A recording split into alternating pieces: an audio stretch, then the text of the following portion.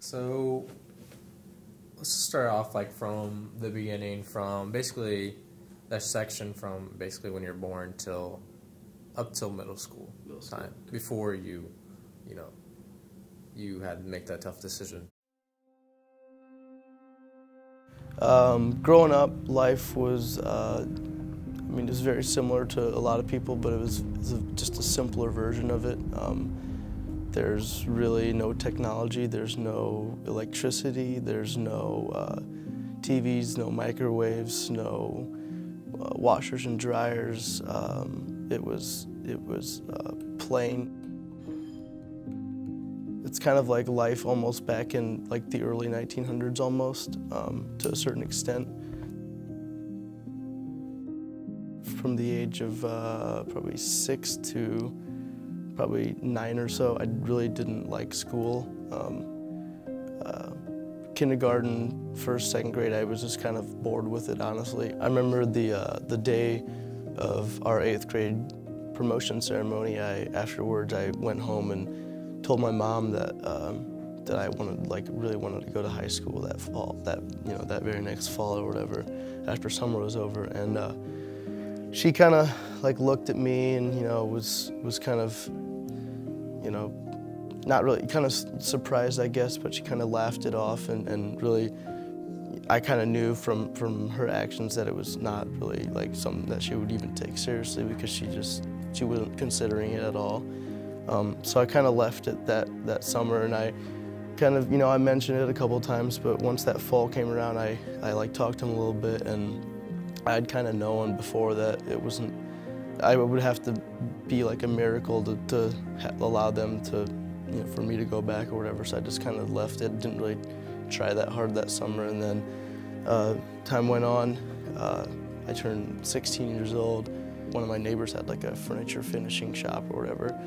Uh, and I, would, I worked there for two years. Um, I, I, I, didn't really, I mean, I liked the people I was working with and everything, but like I knew that the work that I was doing was something that uh, I didn't want to do for the rest of my life. Obviously, I was making uh, a pretty decent amount of money for a, a guy my age. Um, I just, I, there wasn't, there was something not right about the position I was in. I wasn't, I, I, knew the future that I was envisioning that I would have wasn't going to come about with the things that I was doing.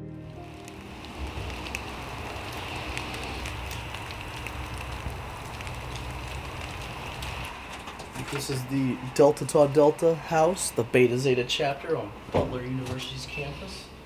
Welcome. So this is all bubbles. Oh, hi. What's up? What's up, dude? Um, that's all bubbles. That's where the kitchen goes to. Um, and here's my room. And there's my bed. My little hut down there. And uh, yeah, there's my Jordan picture.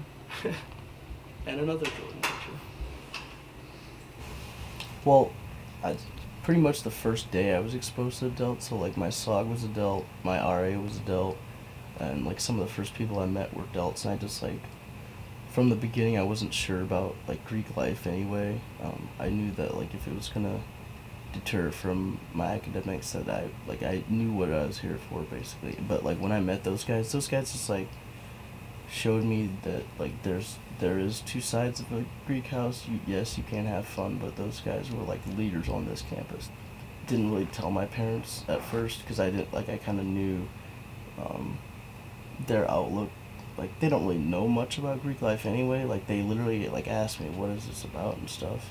Um, like what what what is what is a fraternity and stuff. What do you do? You know, and I had to kind of explain it and stuff and like make it make it seem like it's well, not even seem like because it's not you know as bad as a lot of people like view it these days or whatever. But like they they weren't really like gonna financially support me anyway, which they like haven't any like in any of this stuff. So like it wasn't their call, I guess. They kind of look like, look at it like eh, uh, but that's I mean that was kind of they haven't really they haven't really like done anything with Delt. They haven't really associated with them. We haven't. I mean, we don't really talk about it honestly. Like they know I'm in it. They know I live in the house. They know like all that, but they just don't really they don't involve themselves and stuff with it. I guess they it's just not their thing. At, at some point, um, a year a year passed, and I you know I was 16, and that next summer, um, I, I I mean I wanted to go back again, but I, I really knew I mean was kind of I was 16 already, and I, I just I wasn't really in the right state of mind. I guess I, I probably wasn't mature enough to really make that big step yet. But by the time time that year and a half or whatever later, once that winter started rolling around, I, I started hanging out with my old school friends again, and they kept telling me, you know, you need to come back, you need to come back. Um, and I, I, always wanted, I knew I wanted to, I always knew I wanted to. So coming into that summer, I was, you know, I was, was like, this is my last shot. Um, I'm 17 years old, and if I wait any longer, I'm gonna be like 25 in high school, so I can't be doing that. That summer, I, you know, I had conversations and stuff with my parents. There wasn't much there. It was just more like arguing. I remember one night, um, probably 10, 11 o'clock at night, I was sitting um, in the, the parking lot of a Taco Bell in my hometown, and I wrote my parents a two-page letter. Just kind of laid it all out, um, my side of the story, why I wanted to do it. Um, you know, what, what, why I thought it was like a good idea and why I thought maybe it's not, maybe they should maybe take their foot off a little bit and maybe allow me to, to make decisions on my own, I guess. Probably two weeks or so passed. We didn't really talk during that two weeks. I mean, we talked casually, but not, I mean, not about that. I knew they had read it and everything. It was kind of, kind of like an awkward time. I remember school started that, that fall. Um, started on a Tuesday. They went through Tuesday, Wednesday, Thursday, Friday, four days of school, and that weekend I was like, this is my last shot. I can, I can go back now. Four days in, I can still go back, but after this, it's, it's like, this is my last shot. So that weekend, I remember Sunday night, um, sat down with both my parents and just had a long conversation, three, probably three hours, at least four hours maybe and I finally got them to sign my enrollment uh, enrollment forms and stuff for, for high school and I went from working that previous week to going back right back to high school uh, after not have gone having, having gone to school for two, two, a little over two years. I would say now, fast forwarding a couple years, it's probably one of the best situations that I've ever had with them, but there's definitely a time of me kind of stepping out of my own and just saying, this is what I'm going to do, um, take control of my life, and I'm, this is how I'm going to roll.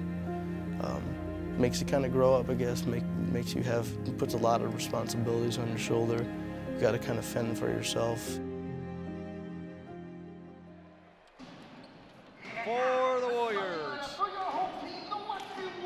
Start the normal starters tonight. We'll be starting at guard, number 11, Norman Miller. He's a junior. At the other guard, number 13, uh, the guy that brings the ball up the floor, Elijah Hales. How soon was it when you like said, hey, yeah, I'm going to play basketball, I'm going to play soccer, I'm going to play this sport?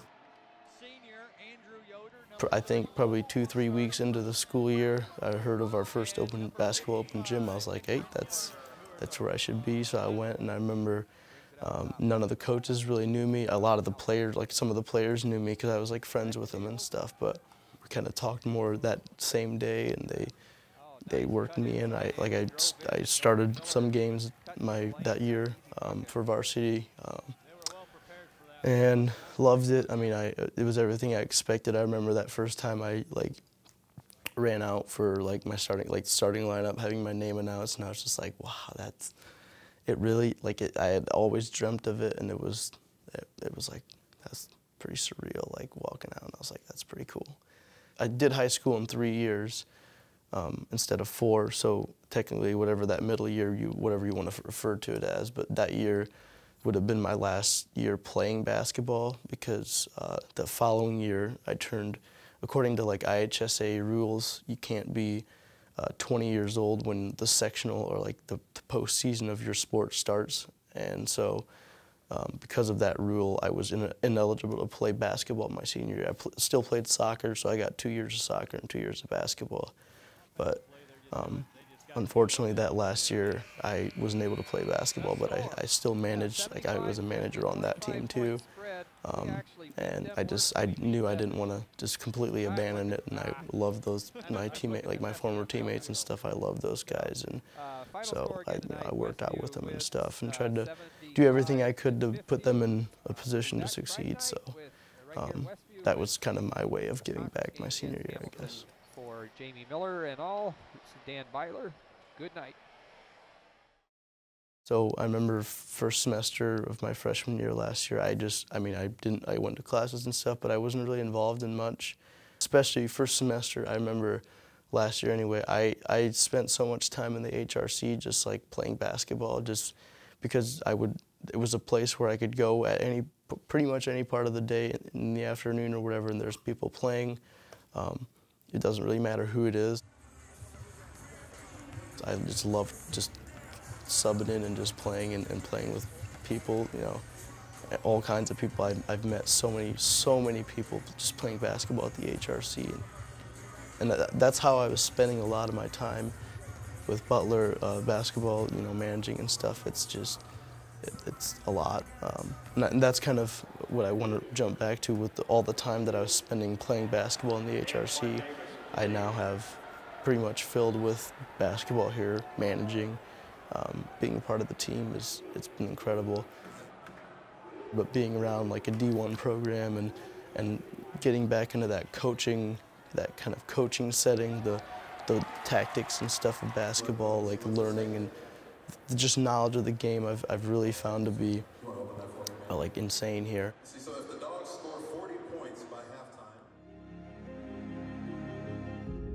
I think growing up Amish, there's there's a lot of intangibles that you kind of pick up along the way.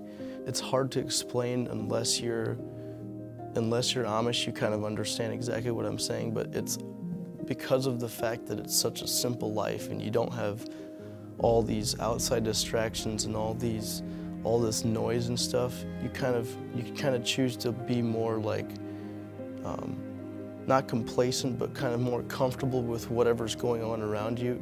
I think me going through that experience and kind of um, going through a lot of obstacles and, and, stuff like that. And I'm not saying that any of this stuff is harder than a lot of other people face. It's just different. It's not typical, I guess. And I think because of that, I, I kind of bring um, a little different, something a little different to the table, I guess. A little bit different taste of life, I guess. It's not like I left because I just have some this huge, you know, negative feeling about the Amish because I really don't. I like I wouldn't, if, if given the chance, I would never choose to not like have the, the background that I do. I, I love my family. I would do anything in my family. The Amish culture to me, it's, it's given me so much that it would be unfair of me to place it in that kind of light. It was just me, me simply just kind of realizing at an early age that this is probably not how how I was gonna like want to spend the rest of my life, and I just couldn't see myself being like a grown Amish man and, and like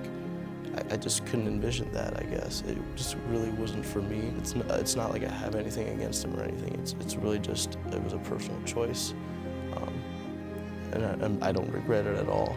But uh, that's kind of what I take away from that, I guess.